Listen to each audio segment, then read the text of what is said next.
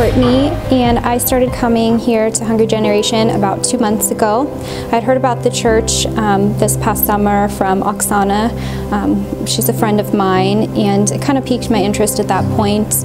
But it wasn't until a few months ago that I was kind of going through a, a hard time myself, and and just saw this as a great opportunity, something that I was missing in my life. Um, before coming to church um, here, you know, it wasn't a regular thing for me to to go to a church service. I, I grew up in a Catholic church, and so I've, I've believed in God, and and you know it's kind of been there in my life, but more in the background. I didn't really have a good understanding of the Bible or, or really what it meant to to have a relationship with God, and so that's where I kind of felt like that was something that I could build on and, and really really grow from. And so uh, I really had a great first impression of Hungry Generation. Everyone was so welcoming. Of course, the service is amazing. The the speeches that they give, it's just so motivating and positive. and, and I was hooked the first time that I came and I've been coming back ever since and it's it's really just brought a lot of great positivity in my, into my life, both the, the service and the people. Um, I've always had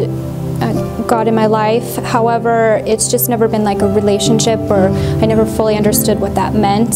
And coming to the service, I would learn more and more each time that I come and it kind of I had that feeling maybe that I wanted to raise my hand at the end of service when Vlad would call people up, but it, it took me a while. It took me about um, a little over a month and a half of being coming to the services to do it. It was at the last um, Miracle Catch service. I was just really touched by the service, and when he called people up to be saved, you know, I just got that quick heartbeat, and I just knew knew it was the right time for me.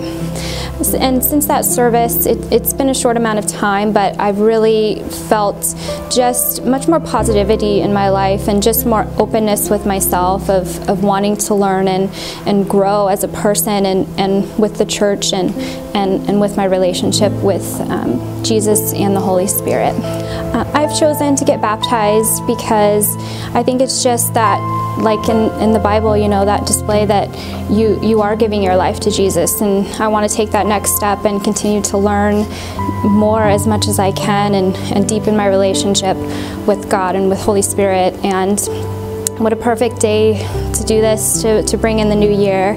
Um, couldn't be more excited to do it. Um, my goals from here, again, are just to continue to gain more knowledge of it and hopefully um, spread that to other people, um, you know, whether it's helping their, their lives be saved or just bringing more positivity to other people, continue for myself. I have a lot of exciting things upcoming in my life and just to keep on that, that same positive path.